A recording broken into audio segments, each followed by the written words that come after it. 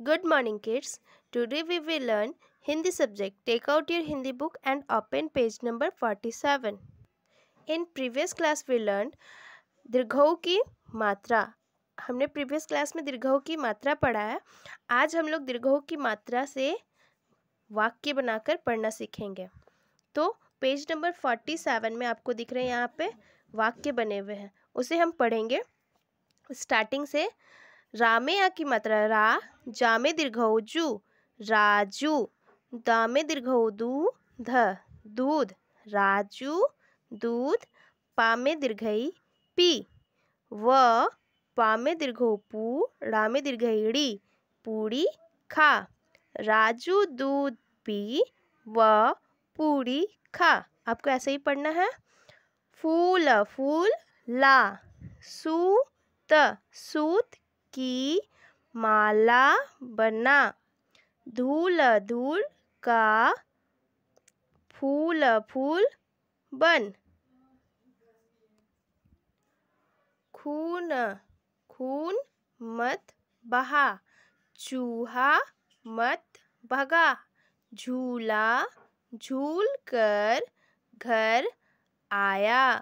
भूसा भूसा ला जूता जूता, पहन, बाज़ार बाज़ार जा मूली मूली ला, बाज़ार जा मूली ला, रामू, उठ उठ, रामू, उठ, सूरज उग गया, सूरज उग गया, आलू भी ला, आलू भी ला भालू वाला भालू वाला आया भालू वाला आया।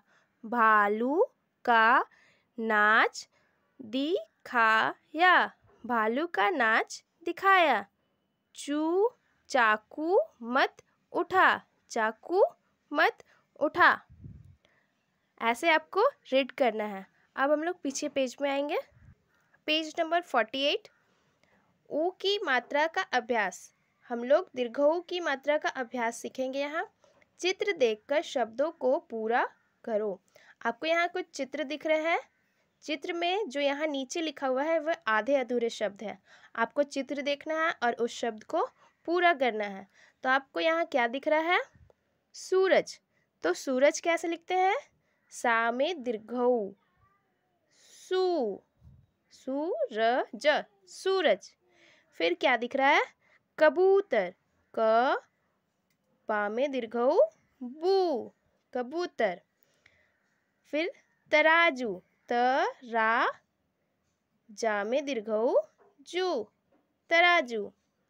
तरबूज। त, र, ब में दीर्घऊ बू, ज, तरबूज। भालू। भ, भा में की मतलब? भा, ला में दीर्घऊ लू। भालू चूहा चा में दीर्घऊ चू हा में आ की मात्रा, हा, चूहा। आपको ऐसे ही चित्र देखना है और शब्द को पूरा करना है। अब नीचे आते हैं। दीर्घों की मात्रा लगाकर सही शब्द बनाए। आपको इसमें दीर्घों की मात्रा लगाना है सभी में और सही शब्द बनाना है। यहाँ फल फल लिखा हुआ तो आपको इसको बनाना है फूल। फा में दीर्घो, फू, ल। फूल, झला, झूला, बबल बबल ब बूल खजर ख जूर खुशब खू श बू खुशबू, नाखन, ना खू न, नाखून। अम, अमरद। अमरूद मजदर। मजदूर खबसरत। खूबसूरत। खूबसूरत। ये हो गया हमारा कंप्लीट हमने हर्षव और दीर्घऊ दोनों की मात्रा को पूरा कंप्लीट कर लिया है।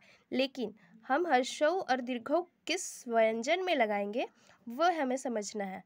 जैसे हर्षव जहाँ लगाते हैं, जिस व्यंजन में हम उसे धीरे से पुकारते हैं, छोटे समय में के लिए पुकारते हैं, जैसे हम लिखते हैं, पुल, पू ल, पुल। हम लोग पुल बोले तो पू में हर्षऊ लगा तो धीरे से बोले, पुल, बस छोटे समय के लिए।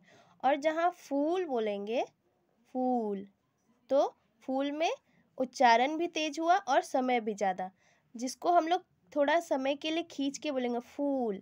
और यहाँ पूल तो जो समय खिंचाता है, उसमें दीर्घऊ लगता है, ठीक है? तो जैसे शब्द में कुछ शब्द ले लें, जैसे खुशबू और जुगनू, दोनों में दोनों मात्रा लगा, जैसे खु, ख में लगा हर्षो, खु, स, बू। देखिए, बू में हम लोग मात्रा को ज़ोर से पढ़ रहे हैं। जुन, जुगनू, जु, ग, नू। नू में ज़ोर से पढ़ रहे हैं। मतलब ये दीर्घऊ और जहाँ धीरे से पढ़ रहे हैं, कम समय के लिए वो हर्षो। आप समझ गए होंगे ना, हर्षो और दीर्घो ये बस एग्ज़ाम्पल के लिए आपको नोटबुक में नहीं लिखना है, ओके? Thank you.